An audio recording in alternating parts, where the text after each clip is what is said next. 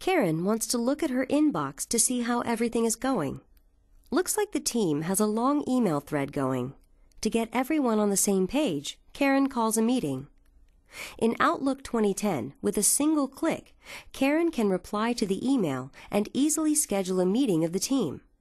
The meeting invitation includes the prior conversation for later reference, and she can add a few notes to clarify the meeting agenda. Karen also gets handy mail tips here, letting her know things such as if someone is out of the office. This out of office message refers her to someone else who is filling in while this person is out, so she can get the meeting invite right the first time. Using the scheduling assistant, Karen can easily see what times will work for the members of her team. She can see what days are good or bad for scheduling the meeting based on everyone's schedule.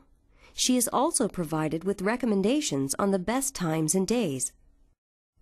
Since Lync is integrated right here, with a single click, Karen can add an online meeting, so the remote team members can easily join.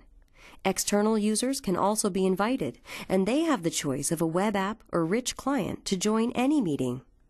When the meeting is ready to begin, Karen can just as easily join the meeting from Outlook. As easy as that, Karen is on the call. No more punching in phone numbers and passcodes to join a call. Her online status in Lync has updated automatically to in a conference call, so others know it may not be the best time to try and call her with a question. The remote participants will have a similar experience as they join.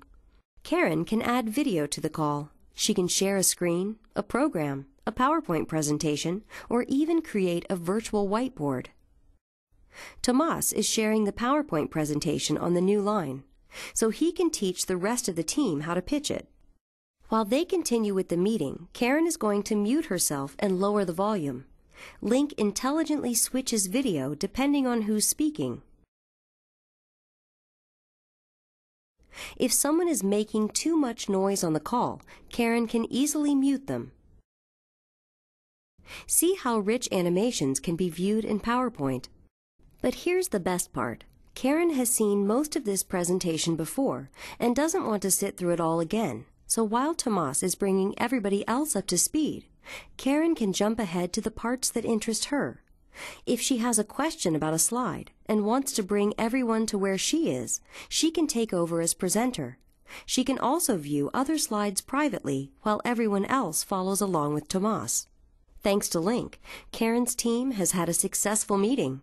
Before leaving the call, she reminds everyone to edit their parts of the proposal document, which she'll be delivering to the customer. Note that if Karen leaves the call early and needs to rejoin to add some final comments, it's as easy as clicking the Rejoin button.